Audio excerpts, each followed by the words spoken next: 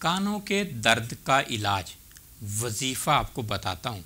का अल्लम यसम आहा, का अन्ना फ़ी उज़ु नई ही वकरा फ़बशर हो बे अजाबिन अलीम। सात बार ये आयत पढ़िए और दम कीजिए।